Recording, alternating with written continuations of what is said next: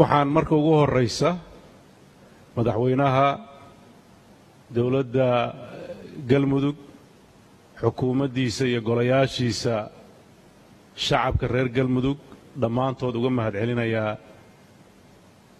sida sharafta leh ay noogu soo dhoweeyeen magaalo madaxda galmudug ee dhuusamareeb oo runtii aan uga mahad celinaynaa dadaalka wakhtiga kooban ee go'aanka in shirkan uu qabsooma lagu qaatay iyo sida habsamida leh ee howlihii baaxadda lahaa ee hor yaallay ay u maareeyeen. Waxaan leeyahay madaxweyne adiga iyo xukuumaddaada iyo golayaashaada iyo shacabka reer galmudugba aad baad u mahadsantihiin. Sidoo kale waxaan u mahad celinayaa madaxweynayaasha dowladaha xubnaha ka ah dowladda federaalka ah iyo wufuuddii la socday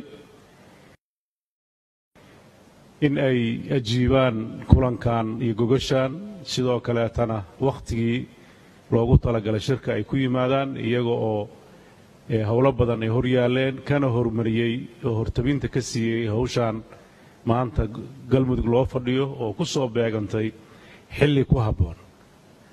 Xaqiiqda waxaa ka warramay madaxweynaha macnaha shirkan uu ku fadhiyo.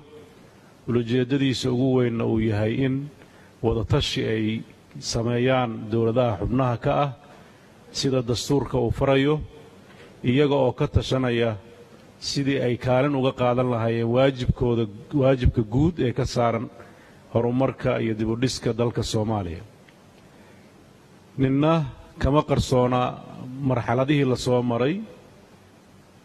Qof walbana wuu la socdaa marxaladda maanta aan marayno waxaan ilaahay subxaana wa tacaala ugu mahadnaqaynaa meesha dadka soomaaliyeed maanta ay gaareen.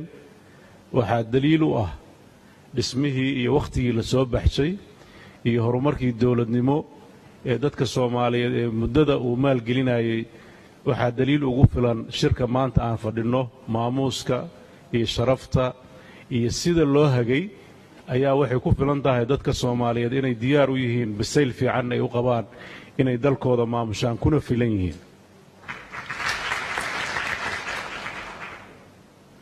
magaaladan oon ognahay in magaalo muddo badan khilaafaad siyaasadeedu ka jiray kala aragti duwanaan ay ka jirtay ay tahay magaalooyinka marka la fiiriyo magaalooyinka soomaaliya xagga dowlad dhiska ugu dambaysay haddana dhismuhu daaraha iyo ma aha guryaha ee dhismuhu waa dadka dad la dhisay baa jooga oo awood u yeeshay in ay maareeyaan howlaha guud ee qaranka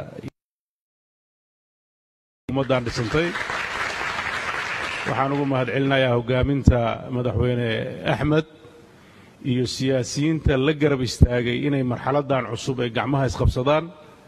Waxaan si gaara galmudug ugu mahad celinayaa dadaalka ay u galeen inay tooda xalliyaan dariskooda oo puntland ay wada hadal iyo wada xaajood la galaan gogashii qarankana ay dhigaan. Intaasba waxay muujinaysaa in ay yihiin dad u taagan inay qayb ka qaataan horumarka dalka ee maanta la tiigsanayo.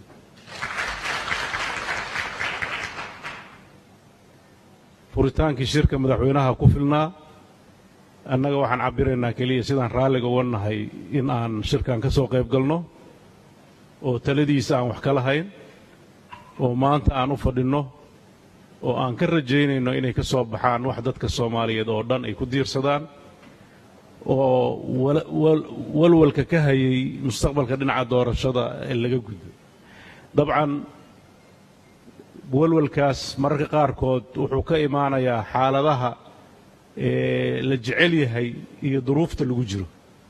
Dabcan dalku muddo badan wuxuu ku taamayey in uu ka baxo nidaamka doorasho ee muddada labaatanka sana aan ku soo dhaqmaynay oo loo gudbo nidaam dimuqraadiya oo qof iyo cod ah. Waana waxa qof kasta oo soomaaliya uu tiigsanayo.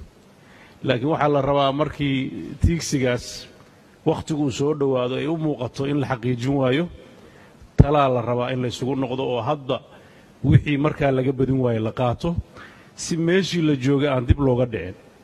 Nidaamka doorashooyinka kale ee qof iyo codka ahayn naftarkeedu waatan maanta halkaana soo gaarsiisay oo labaatankaas sano oo aan ku soo dhaqmaynay wixii wanaagsanaa ama adduunku uu yaqaani ma aha laakiin waa waxna la eg oo marxaladaha aan uga gudbayno oo aan hadda aan ku jirno.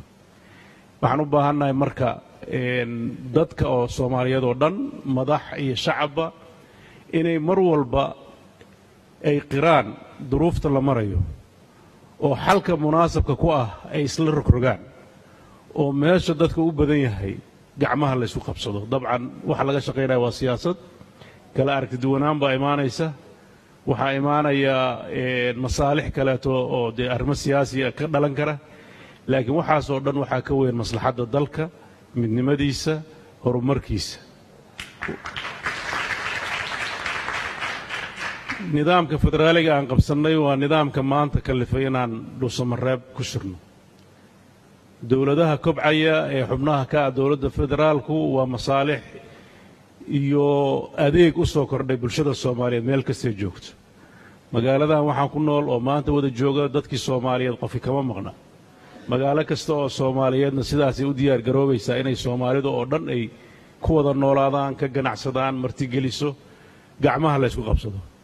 Nidaamka federaaliga ma aha wax dadka kala geynaya nidaamka federaaligu ma aha wax dadka aan horumarkiisa wadajir loo qabsanayn waa shaqadii oo la kala qaybsaday. Hadday taasi jiri lahayn maanta markaan axmed qoorqoor halka ugu nimaanno hadda gacantaan ku dhegi lahayn oo shaqadaan la qabsan lahayn waxaan quruxda badan ma soo baxeen waayo wixii laysla wada maamulo foolxumaa ka soo baxda. Marka waxaan rajaynayaa kala qaybsanaanta dowladaha ee dowladda federaalka iyo dowladaha xubnaha ka ah waa wax iskabaya waa shaqooyin ay laysu